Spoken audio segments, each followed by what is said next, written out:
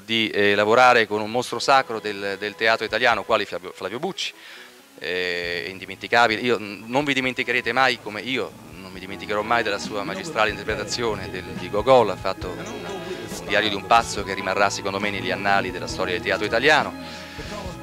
Anche di fiction si parla con il signor Bucci, perché insomma, un Ligabue così non credo che si sia mai visto. E, e niente, sono molto, molto, delle linee forti, secondo me il, il costume una... sto cercando di contattare amici che eh, hanno dei costumi teatrali che Visconti ha usato per eh, del, del, dei suoi film e pare che probabilmente indosserò uno di questi costumi, per me sarà un onore. E soprattutto la, secondo me bisognerebbe concentrarsi un po' di più sul teatro, anche avere l'umiltà di eh, proporsi in un ruolo che, che, sia forte, che sia credibile, cosa che oggigiorno, esatto, eh, secondo me è, è importante recuperare questa, questa, cosa. Il testo è un testo moderno, non è mai stato rappresentato prima, ho scelto una, un testo che mi piace, secondo me arrivato alla boa della mia età e qui, e qui mi taccio, è importante fare quello che uno vuole fare nella vita e quindi ho fatto un testo che non mi importava sapere se la compagnia era grossa, piccola, l'importante è fare un testo importante per me, un ruolo eh, di argomento storico e comunque tra tutti i testi che mi sono stati proposti questo è secondo me la cosa migliore che potessi fare. Siamo di bla bla non solo chiacchiere, oggi a Roma a Piazza Fontanella Borghese per assistere alla presentazione della commedia teatrale eh, Anime in tempesta, mm, commedia sulla vita di Gaspare Spontini. Siamo ora in attesa di poter parlare con i protagonisti di questa commedia, eh, a cui peraltro alla presentazione stampa hanno partecipato non solo eh, tanti attori ma anche tanti protagonisti della televisione, nonché tanti colleghi della carta stampata e della televisione. Come mai ha deciso di partecipare? Di solito te lo chiedono, se è una cosa interessante uno finisce per farsi coinvolgere. Che cosa l'ha trasportata però in questa commedia teatrale? Beh, è una cosa abbastanza interessante perché è un personaggio tra i più importanti della storia della musica italiana. Poi ci sono le marche che devo dire verso cui ho un affetto particolare quest'uomo che cosa ci può dire di questo personaggio? È che è stato un grande musicista, ha studiato in Italia, poi si è perfezionato all'estero ed è diventato addirittura cappellano presso i francesi durante il periodo di Napoleone, poi ha avuto una carriera eccellente sia a Vienna che presso la corte prussiana, quindi diciamo un gigante sicuramente fra 7 e 800 della cultura italiana. Allora, siamo con Tiziana, protagonista di questa commedia teatrale, qual è il tuo ruolo? Il ruolo è di Celeste, la moglie di Caspare Spontini, è una donna estremamente dolce, una donna molto forte, è un bellissimo personaggio. Ancora mi devo mettere a lavorare con, con il regista, per cui eh, non ne voglio parlare più di tanto, perché sicuramente lui avrà anche un'altra visione. Che cosa ha questa protagonista con te? Cosa c'è tra Tiziana e questa protagonista? È una donna molto dolce, è una donna, lei molto intelligente, non so se io sono intelligente quanto lei, però è una donna molto dolce, è una donna eh, piena, piena, di amore, è una donna che ha sacrificato la sua vita per questo uomo. Io probabilmente non sacrificherei la mia vita per un uomo, però non lo so, forse se incontrassi un grande amore sì. Lei lo ha incontrato. Niente, è una commedia in due atti e Flavio Bucci l'ha definito un musical lirico. Io mi rivendo questa informazione perché effettivamente è una grande commedia musicale con musiche dal vivo, balletti, soprattutto musiche liriche, eh, con l'unico sopranista che abbiamo in Italia, Francisco D'Andrea, è un soprano, un tenore, pianoforte e arpa. Eh, la vita di Gaspare Spontini è una vita affascinante, tempestosa, da, da questo il titolo Anima in tempesta, ma anche perché lui è stato l'anticipatore del romanticismo e quindi per me era importante avere anche un titolo che fosse un po' alla Sturm und Drang. Eh, e quindi un'avventura con tre donne, tre immagini femminili importanti, eh, la moglie che rappresenta l'amore spirituale, Giuseppina Bonaparte, l'amore carnale, infatti si parla di una tresca, i gossip dell'epoca parlano di una tresca tra lui e Giuseppina Bonaparte e una terza donna che rappresenta il suo amore ideale, quello che l'ha rincorso quasi in tutta la sua vita, nel suo immaginario, che è la Vestale, rappresentata dalla Vestale, una donna che si chiamerà Giulia per tutto la durata della commedia? Il mio ruolo è un'anima in tempesta. Il mio ruolo è la vita di questo musicista, Gaspari Spontini. E, mm, è un ruolo che mi piace molto perché è un personaggio del Settecento, è un personaggio comunque eh, appunto che, che, che, tocca delle corde che mm, mi esaltano molto. Un altro secolo, una, una bella sfida. Dopo vivere quindi ritornerà sulle scene teatrali, come mai? Mi manca molto il teatro, mi manca molto e quindi mi piace molto cercare di ricalcare l'asse del palcoscenico. Quindi che cosa le lascerà questa commedia? Eh, quando lo farò le farò sapere cosa mi avrà lasciato. Allora, produttore di questa commedia teatrale, cos'è che l'ha spinta a iniziare questa eh, commedia? Il fascino di rappresentare nelle scene italiane la figura di un grande musicista del Settecento che non è molto conosciuto, che ha avuto una vita tumultuosa, il che del titolo Anima in tempesta. Poi tra l'altro sul, così, sul filone eh, del costume del Settecento, delle fiction eccetera, ritengo che sia un'operazione artistica e anche commerciale estremamente interessante perché avremo 22 attori, ballerini, musica dal vivo e un cast che voi avete visto è estremamente rilevante. Qui è tutto dalla sala stampa del, di Roma, Piazza Fontanella Borghese per la presentazione di Anime in Tempesta. Do la linea alla collega del Gilda. Buonasera a tutti, siamo qui in diretta dal Gilda Bar con il protagonista di questa serata. Raccontaci la tua arte. L'arte non si può raccontare, l'arte non è raccontabile, l'arte è emozione, è sensazioni, quindi voglio dire, quando uno sta davanti a un quadro prova solo delle sensazioni.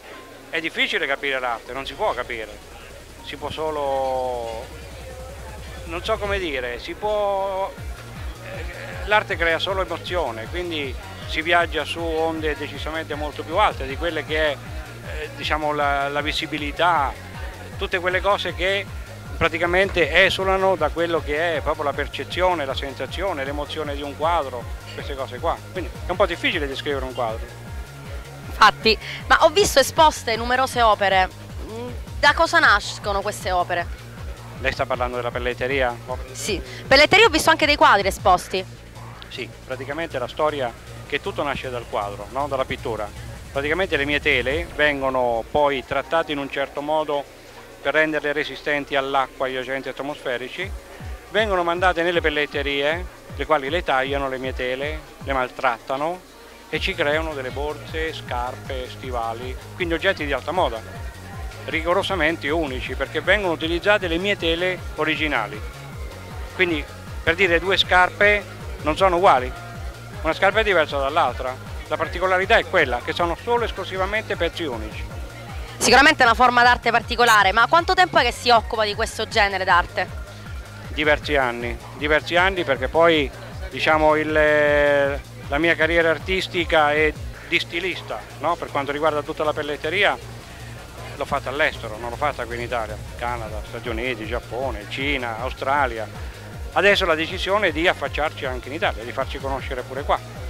In fondo l'Italia è la mia terra, quindi prima o poi, anche se nessuno è profeta in patria, però prima o poi dovevo arrivare anche qua e, e ci sono. Ma secondo lei l'Italia può definirsi la patria dell'alta moda? Cioè, secondo lei è comprensibile questo tipo di arte qua? Chiaramente sì, eh, Made in Italy è conosciuto, straconosciuto in tutto il mondo, è il massimo, è il massimo che c'è e di questo dobbiamo esserne coscienti. Io conosco l'arte di Vittorio De Marchi, l'amo molto, mi piacciono i suoi quadri e le devo dire che ho anche qualche oggetto che cammina.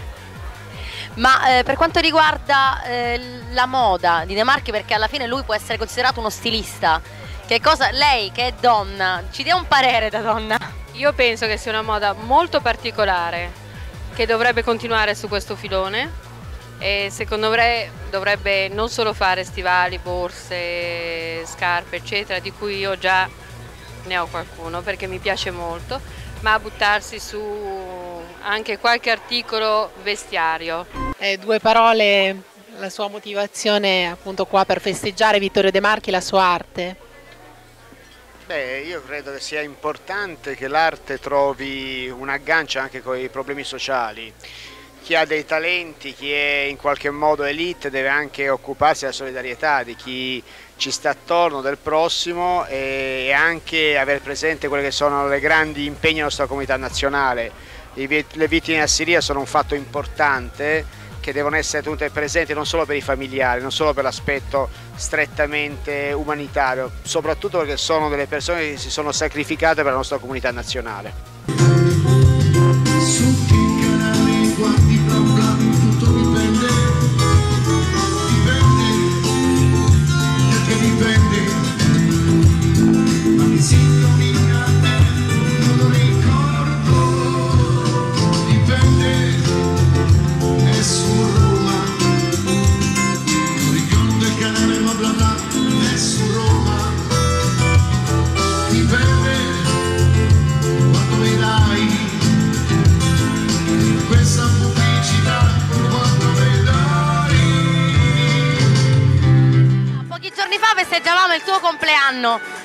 Oggi festeggiamo questo grande artista. Dici cosa pensi?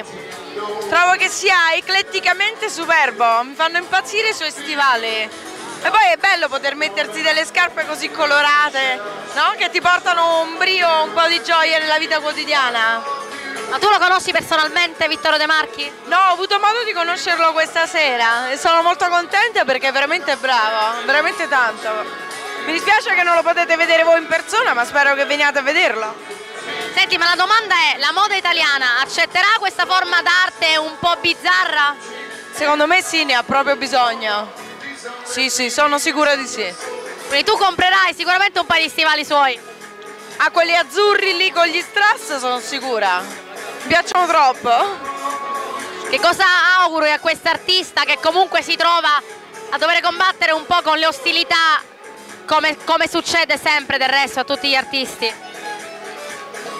Gli auguro di vincere tutte le ostilità, perché se lo merita e perché tanto le ostilità ci sono in ogni ambiente, dal, dal più semplice al più complicato e quindi siccome se lo merita io sono sicura che poi questa serata gli porterà molta fortuna.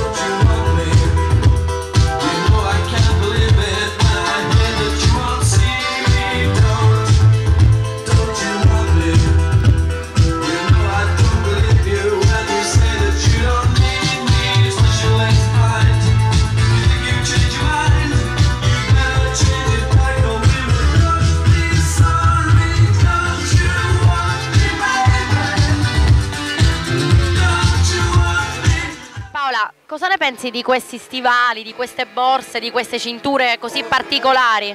Sì, innanzitutto direi che sono molto importanti per noi donne le scarpe, le cinture, le borse, sono oggetti fondamentali. Questo artista l'ha voluto rendere ancora più originali mettendo qualcosa di sé negli oggetti, quindi chi li porta comunque porta qualcosa di lui e sicuramente in maniera originale. Sono gradevoli e sono diversi sicuramente da, dalla normalità. Ma eh, tu li useresti? Sì, sicuramente ho visto un paio rosso proprio lì al lato, uno stivale rosso bellissimo. Già l'ho toccato però è solo uno, lo volevo insomma vedere, ho detto però è solo uno, è un paio solo, per cui non potevo domandarlo. Quindi tu pensi che sono oggetti adatti a un pubblico giovane, di ragazze? Sì, sì, assolutamente, perché è stravagante, non è una moda classica, è particolare, non, non rientra nei canoni della classicità, dell'eleganza, ma è stravagante, ecco, una ragazza che si veste col particolare lo può utilizzare. Bisogna fare per promuovere quest'artista e questo prodotto sicuramente un po' particolare che può riscontrare delle difficoltà perché sai, la moda è comunque un mondo difficile.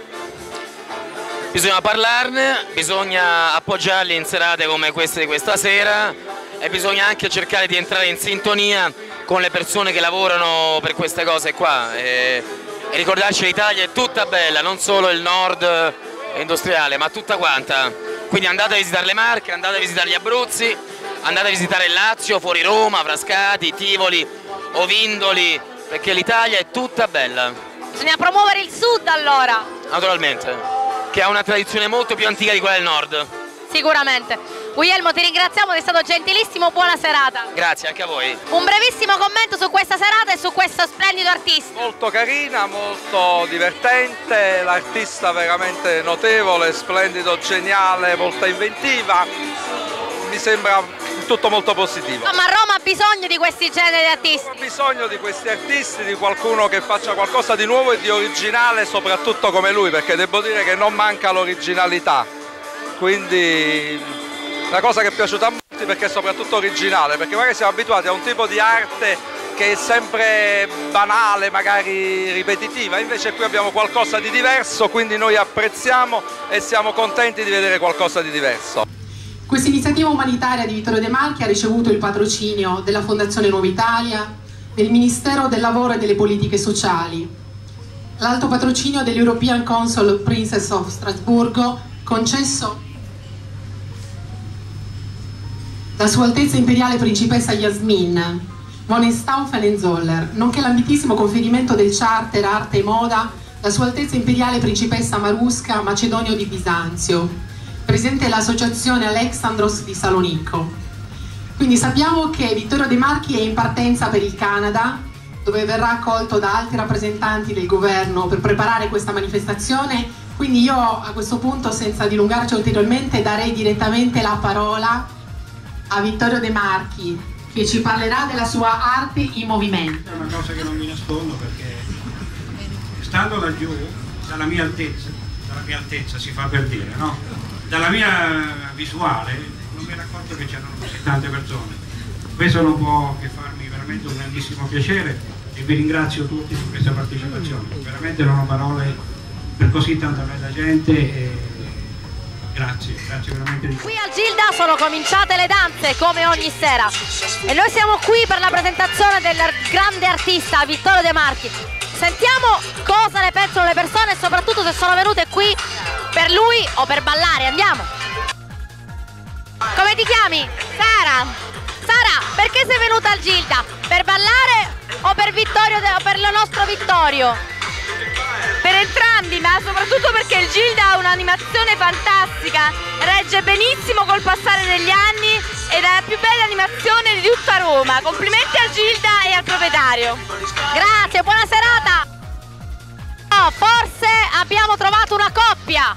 Siete una coppia? Può darsi. Oh, bene. Ragazzi, perché siete venuti al Gilda questa sera? Per Vittorio De Marchi o solo per ballare? Devo essere sincera, solo per ballare.